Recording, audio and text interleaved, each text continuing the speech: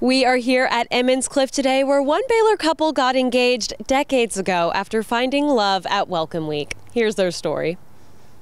Roy Nash was a sophomore Baylor camp counselor looking with his roommate for pretty freshman girls to join them on a date.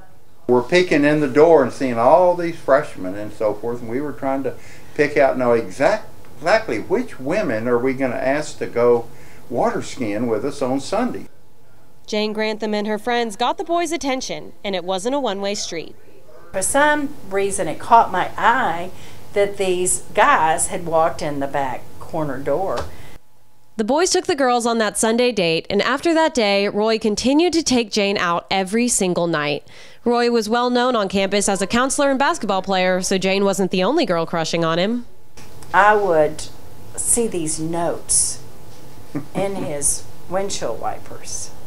So I always took them. and just, I never saw them, I He guess. never saw them.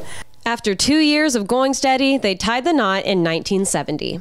We wanted to marry early so that we could help raise our grandkids. Kids. if you- Being in love is a wonderful thing, but learning to live in love is very different. And that's exactly what they've been doing for almost 54 years now. That was more important to me, by the way, than all the grades and all of that kind of playing basketball or whatever, was finding the right woman to spend the life with. The couple has one piece of advice for students today. Don't pass up a chance. Tell God all the time He did a good thing by putting us together. For Lariat TV News, I'm Lauren Holcomb.